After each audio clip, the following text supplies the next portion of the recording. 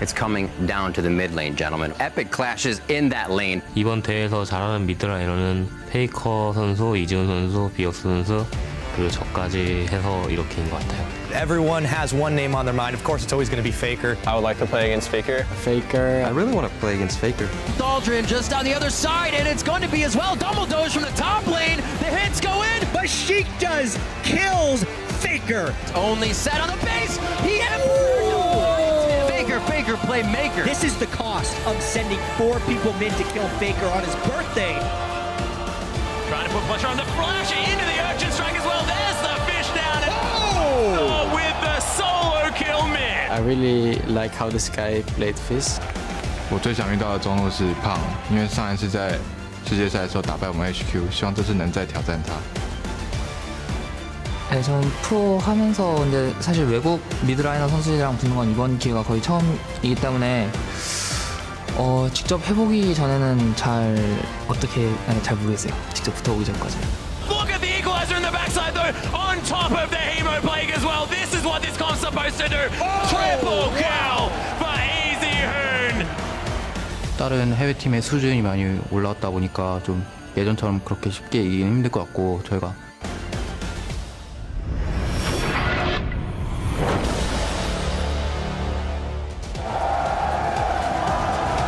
Welcome, everyone, to day two of the 2015 Midseason Invitational, coming to you from Seminole Country on the campus of Florida State University in Tallahassee. Yesterday, we saw some of the most anticipated international matchups of the year, and today promises to deliver just as many thrills. Now, the action is ramping up. As you can see here, the crowd hyped as ever. Lots of flashy lights.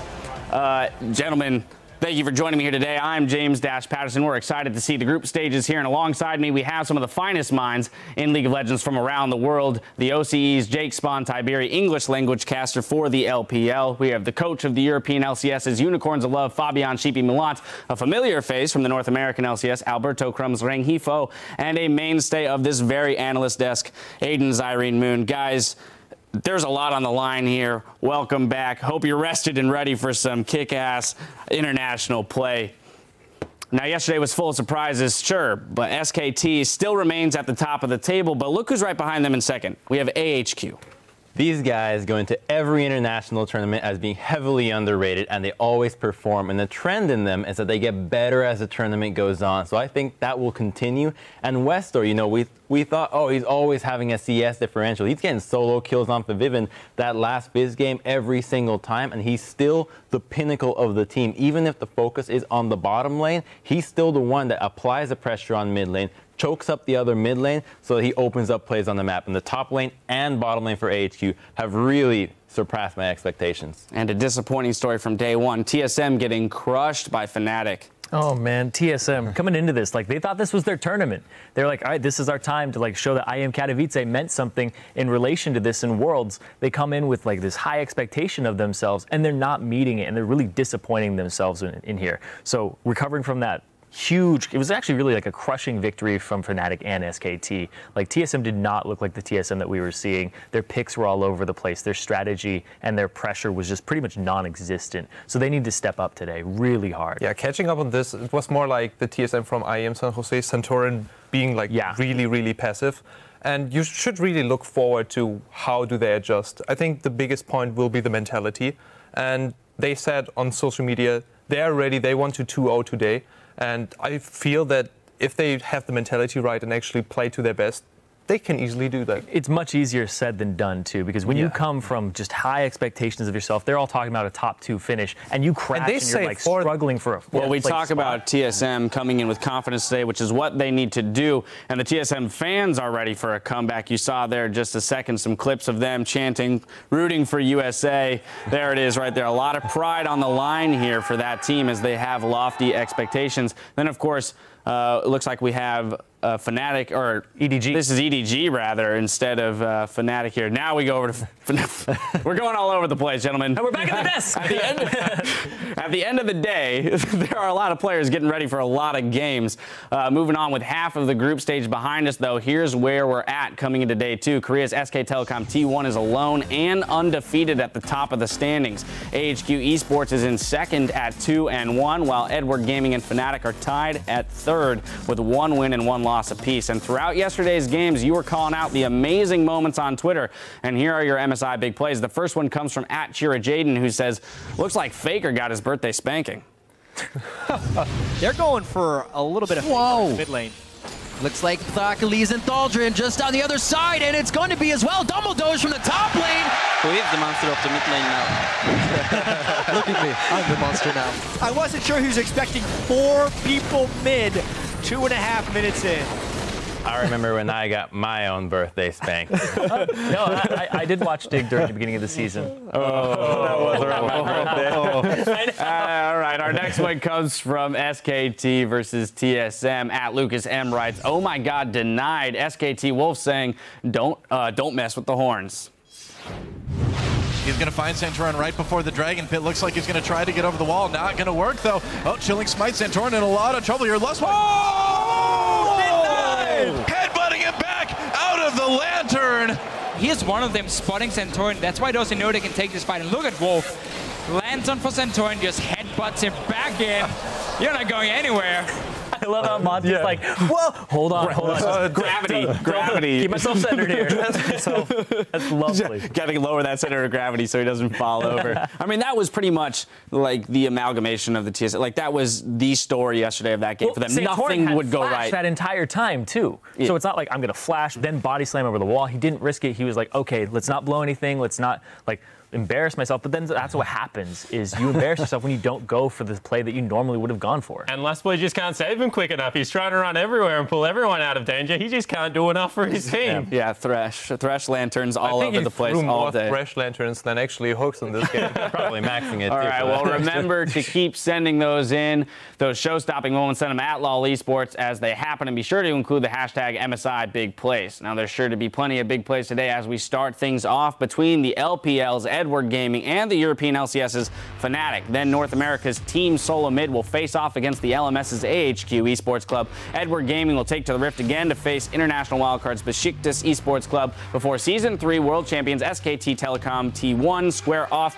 against the season one champions Fnatic. Each team will have played a total of five games at the end of the day, unless it comes down to tiebreakers to determine seeding for tomorrow's bracket.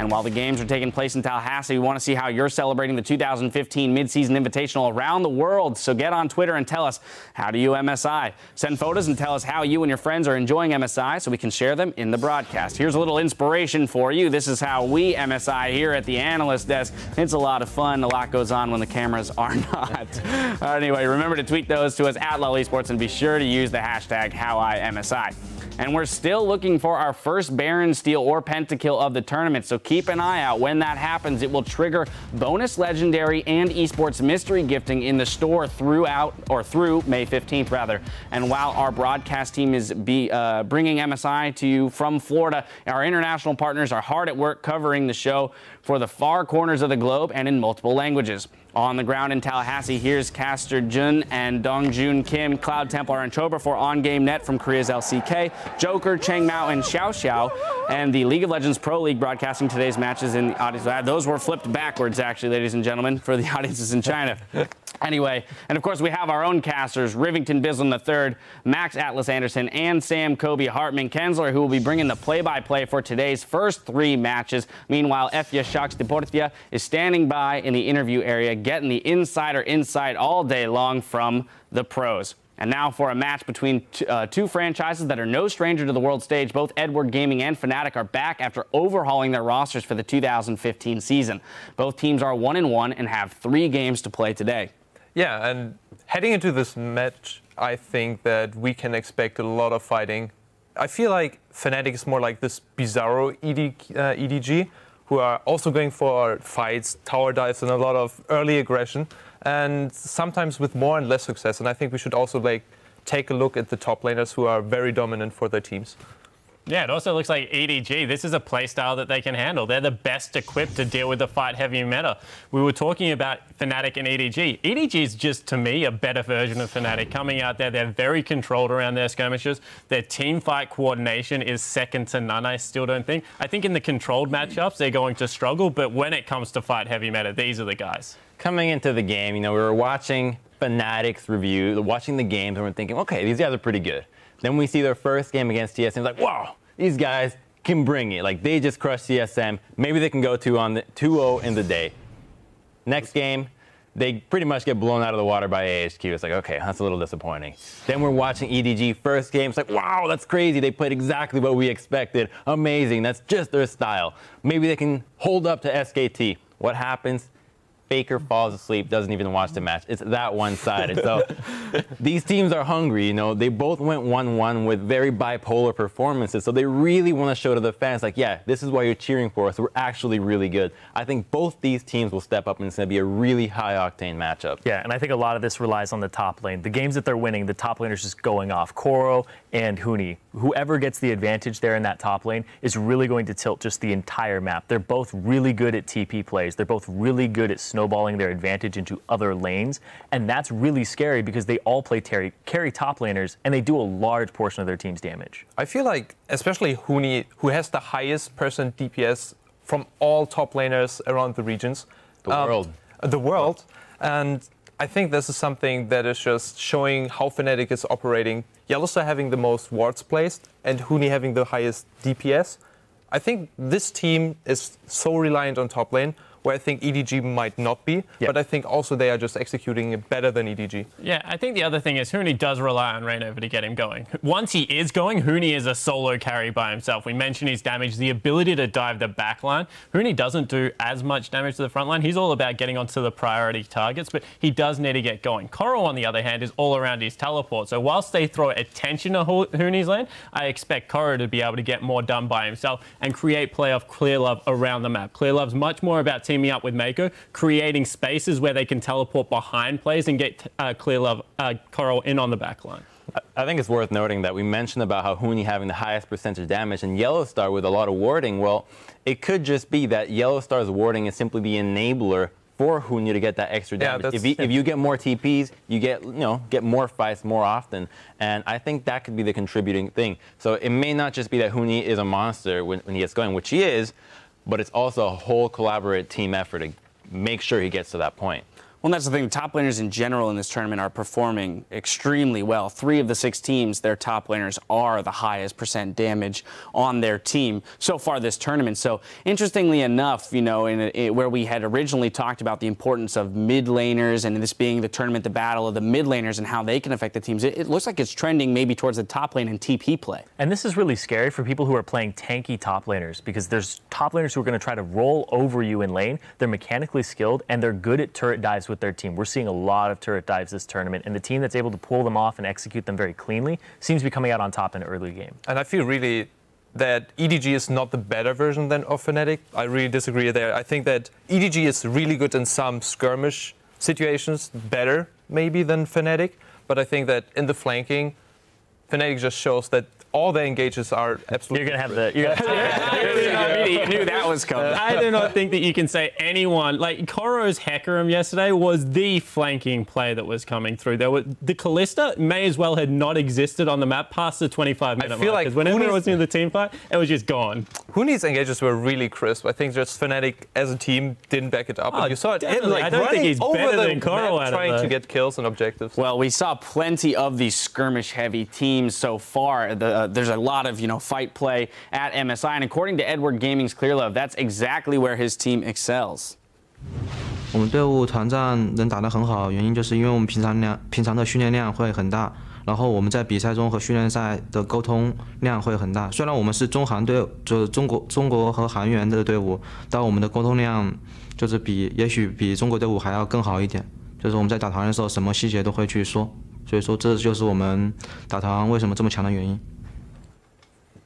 All right, no, they don't feel like they have any communication issues. And I have to say, after watching yesterday, it didn't seem like that either. I'd like to be able to catch a glimpse of just a little excerpt of them team fighting when you can hear the comms and see what they're really talking about, have somebody translate so you the whole world can learn about it. If their commu- communication is that good, you know, maybe we can take some notes out of that. Yeah, and it's funny because we don't know how the communication works, but we saw when they turned on the dime on the Sejuani ult yesterday, it definitely does work. Oh, yeah, However that, they that was really it's impressive. He was already there. coming in too. It was great. All right, well, I'm sure people are excited to get into some of that action today. Now let's take a look at the lineups we'll see on stage today. On the blue side, it's the LPL's Edward Gaming. In the top lane, we have Koro.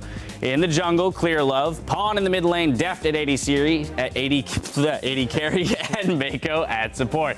And of course, over on the red side of the rift, it's the European LCS's Fnatic. Huni in the top lane, Reignover in the jungle, Febiven in the mid lane, Steelback at AD carry, and Yellow Star, Yellow Star on support. Wow, words are escaping me today. But before we send it over to the stadium for the picks and bans, gentlemen, I want to hit you up for your predictions of this match. Spawn, we're starting with you, as always. So I went 0-3 yesterday. It wasn't a great day, but I think EDG have this one. This is one of the ones that if I was a gambling man, I would put a lot of money on. I think that they are better in a lot of the roles and play a similar style. If you were a gambling man yesterday, you would be really poor. You'd be, you'd be broke. You'd, have no, you'd have no money left to bet today. that's true. So feeling that you go with EDG and you're really certain on this, I feel more, you know, going for Fnatic here, and I think they will have a really strong showing and show that Europe is not to mess with. I think you go with Fnatic because every time they win a game, you're just like, yes, we could have been here doing the same thing. We well. We're not that bad. it was a close match. I'm going with EDG. You know, I think that the difference in both losses from the teams is vastly different, and one is easier to fix. EDG, you could argue the draft was really poor. Sure, their play was lackluster, but I think it came down to how poorly they drafted. On the other hand, Fnatic versus AHQ, they got outplayed pretty hard, to be honest. Solo kills in the mid lane, bottom lane losing, top lane just barely going even. I think EDG, if they bring their A game this time around versus Fnatic's uh, A game as well, I think EDG will come out on top. But if Fnatic does the same thing that they did You against can't- you can't root I'm, for I'm, two I'm not teams. rooting. I'm not rooting. I'm giving the condition. They No, can no, win. no, no, no, if they no, get no. the laning base, they got it. They can win the laning phase. Yeah, if I had two picks every single time I put a prediction in, I'd be 3-0 as well. The, Anyway, caveat. What's the system, man? Even though I hate going with the curse of Spawn, I got to go with EDG here. I think that right now they're the superior team. They just need to clean up their picks and bans. Their coach in an interview said that they're trying things out. If they keep trying things out, though, we'll see because it's really risky because it didn't work against SKT, especially the Tristana. They But we had clean this it up. picture before. I was for one team, Fnatic, and you were for all the other teams. So I That's guess right. That's how, that's how the day started yesterday, so this could be an omen of things to come. Yeah, and just on your point about trying things out, EDG tried stuff out all season long. The LPL's a very long season. We saw a Fizz Eve comp come out from these guys, and they still managed to get the win. The Tristana, I think, was a bit that fell over. I don't even know whether that's trying things out. I think that was just like a panic click coming through there, but overall, I still have a lot of confidence in EDG. We'll have to see if EDG, after dropping a game yesterday, decide to stop trying things out. According to LoLEsports.com, 54% of you have actually picked Fnatic to take this game. So Sheepy's got a little bit of backing I got the there. fans on my side, yeah. and they know it as well. All right, well, the teams are ready to kick off the second day of the 2015 midseason invitational. So let's step inside the caster booth and get into the game. Thank you very much, Dash. I am Rivington Bisland III, and joining me is Oceanus, Max Atlas Anderson, and of course, Sam Kobe Halkin Kenzler. As the team's ready up for picks and bans to start day two of the midseason invitational. Gentlemen, it's going to be great. They were discussing on the desk who has the edge. I mean, if you give EDG a vowel, they are the edge. But seriously, Freak's not up here. Uh, these teams are one and one. We got a pretty even game going into this one. Hopefully, Fnatic can shake off what happened yesterday. And they're going to start off with an Anivia ban as well. So interesting stuff coming through from EDG. The word go. Yeah, very bold move here. It looks like they're going to try and cut down on the number of bans for the top lane and the AD carry role. Uh, we'll, they've been talking up this Huni versus Koro matchup because it really has come down to sort of the three kings of the top lane here at Yeah. MSI. And that is Koro, Huni, uh, and of course Marin uh, for SKT. Looks like we had a little bit of a bug They're going to hop out real quick and get Champion Select restarted. We did see that Anivia ban. You're talking about the top lane, and throughout the season, as far bird, nothing a bug. yeah, throughout the top lane, we've been seeing less Maokai. Was played a little bit yesterday, but these guys are definitely going for that more, more top carry focus, something where they can just get back in the game and help the team out and not be on an island. Yeah, so much Hecarim, Gnar, Rumble, all of these really big playmaking, high teleport impact champions. This And has a lot to do with these champ- these players though as well, because these are the Hecarim players. This is Koro and Huni. These guys love playing this champion. It's not necessarily a Maokai style. I feel like if they go back to Maokai, it's sort of like them conceding their power picks here. I think it is um, going to be very important, especially since it feeds right into Fnatic's playstyle and how